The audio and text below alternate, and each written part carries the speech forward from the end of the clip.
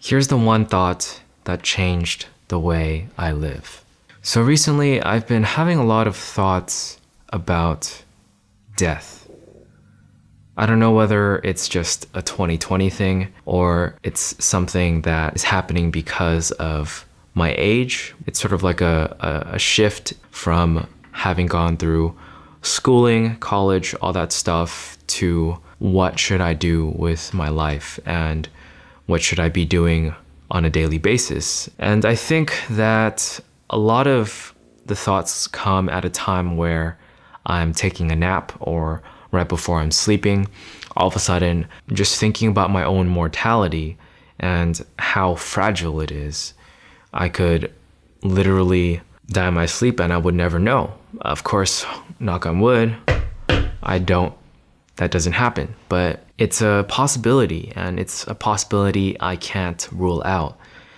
And when you dive deeper into that thought of what happens after you die, I can see why people really want to cling on to the idea of an afterlife or something that happens after you die because the thought of not thinking, of not existing is so scary to me.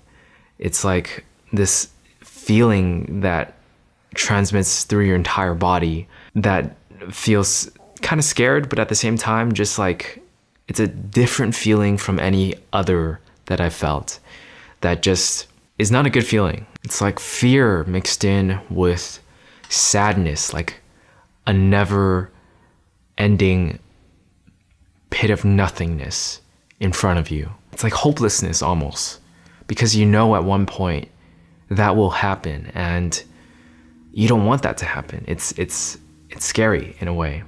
At least that's my experience with it. And what this thought of death has changed inside of me is doing this, being in front of a camera, telling you guys my thoughts, telling the world my thoughts, whoever wants to listen, whoever wants to watch.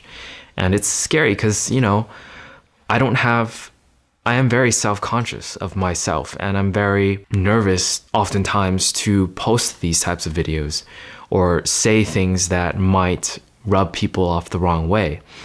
I don't want to negatively influence anyone. I want to be a positive force in the world. And there are just a lot of things that I could do wrong. And I, I'm, I'm, that makes me worried. But the thought of not doing anything, the thought of not having accomplished something I feel happy about or fulfilled about in my life, that outweighs all of my fears by so much because of that thought of death, because of that thought that I would have died in my life not having accomplished anything that I can be proud of, that I can be happy about that is fulfilling. And it's changed the way I approach a lot of things. It's made me think that if I want something, if I have enough of a feeling inside of me to care about something, that I will, no matter what, take action on the things that I care about. Whether I'm scared to death, whether I feel super self conscious, it's just, I do it anyways because at the end, I will eventually inevitably die. And no matter how scary that is, no matter how it makes me feel, I know I'm trying to take that thought, I'm trying to use it as something positive in my life. Because there's there's so many ways to interpret it, right? You might have the same exact thoughts as me, same exact feelings, but instead of feeling like you need to do something with your life and be a positive force, you might decide, what's the point, right? if in the end all of us are going to die, what's the point of living? What's the point of doing this, doing YouTube, making videos, stuff like that? Because it doesn't matter, right? But that's not the mindset I think is healthy because oftentimes people say that, you know, that cliche, it's not about the end, it's not about the destination, it's about the journey. And even though it is cliche, it's freaking true. It's so true. Of course, knowing the destination helps you along your journey. And for me, knowing that death awaits means that I should try and make this journey as best as I can, as interesting as possible. And I think the thought of knowing that death awaits has unlocked a sort of next level thinking. Not not in the sense that next level as in my thinking is better than other people. No. It's more like my thinking compared to my previous thinking has changed.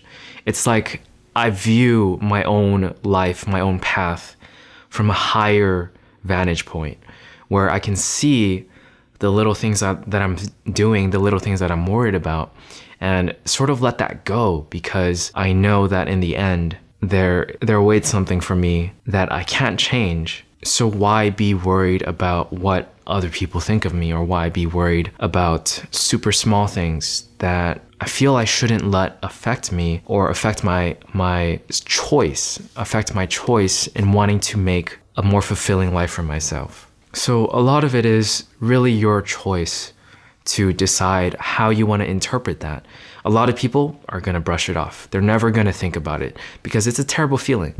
They're just not going to think about it. And if that's their choice, that's okay. But if you are to think about it, I guess part of me wants to help guide your thinking into something positive, into something that helps you instead of destroys your morale or destroys a sense of what makes life great. Because I truly believe that when it comes to this type of reasoning, you can really reason however you want. I know it's called logic, but if you take out like science from it and you turn it into a more like a belief system type of logic, you can make yourself believe practically anything. And I've made a video about this. Basically, the video talks about mindset and how if you know, if science isn't involved, if it's just like the way you live your life or mindsets that you can adopt to better yourself, you might as well choose the thoughts that optimize the way you live, that help you with getting to your desired outcome.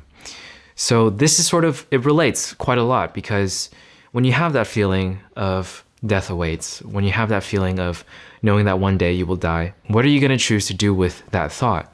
And for me personally, I've decided to use that thought as a driving force in everything that I do in my daily life.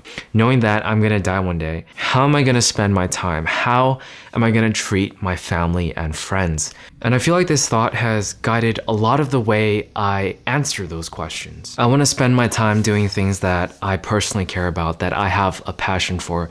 I wanna treat my friends and family in a way they remember me as a person in their lives that helped them, that was a positive force. And I want to treat strangers or meet people and connect with as many people as possible because time is limited. And that also ties into why I personally keep a journal for every day because I feel like every moment and memory should be something that I cherish, especially with people I care about and things that have affected me in a very large way. And I know that this mindset isn't exactly for everyone thinking about death all the time is not exactly something that's desirable. And I definitely feel that for myself.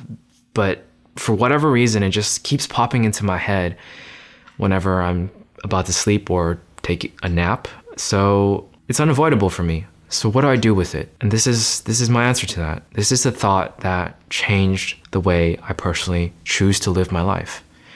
And I'm hoping that by telling you guys this, by making this video, if you guys encounter those thoughts, you choose to do something positive with it.